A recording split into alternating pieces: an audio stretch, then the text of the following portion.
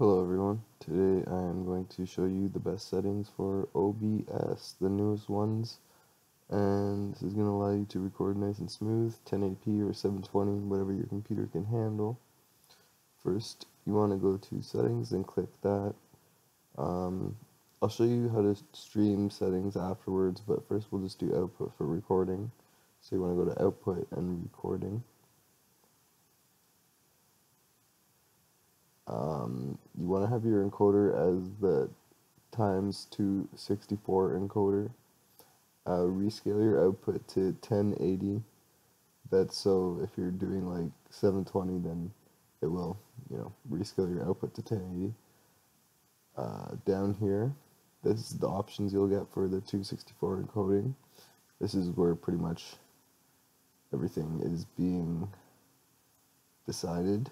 Uh, use CBR for your rate control. Your bit rate, this is one of the most important options right here. Um, 5000 is good to start with, and 5000 is for a good to really good computer. Um, you can go 5000, 7500, 10,000 for better computers, and for not so good computers, you go down to uh, 3000, 2500.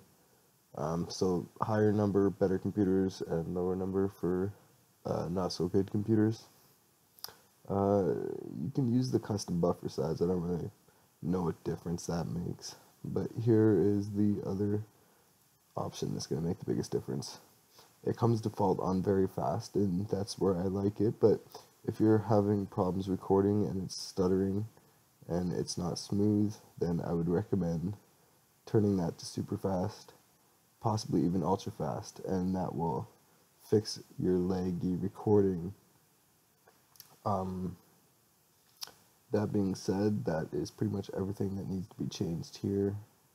Audio is always nice to, uh, it's always nice to have good audio as well, so I'm just doing it at 160 right now, but it's good to do it at like 240 bit rate. Change that in here.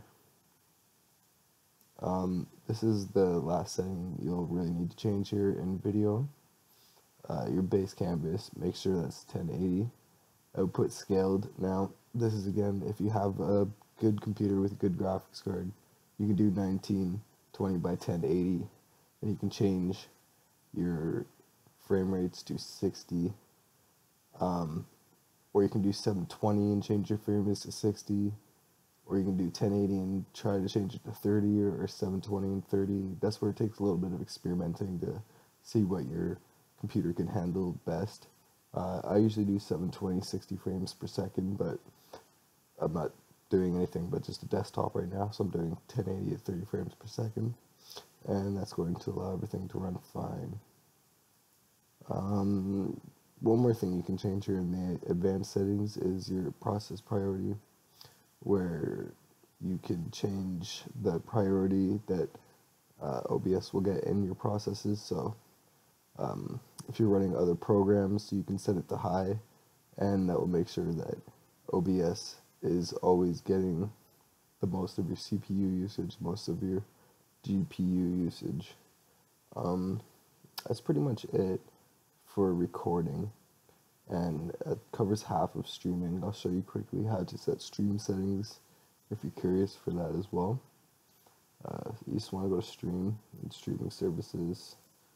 Uh, choose Twitch or YouTube, I mean, whatever you like to uh, stream with. And here is your stream key. This is like your encoder key or your stream key that you get from YouTube when you want to go live or Twitch when you want to go live uh, you put that key right here and that's going to allow you to turn your stream onto live output. You can also change your streaming settings for your output and that's pretty much the same as what I showed you for recording.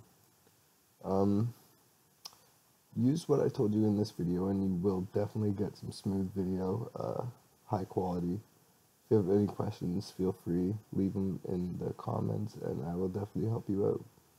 Thank you for watching, and please leave a like. Thank you.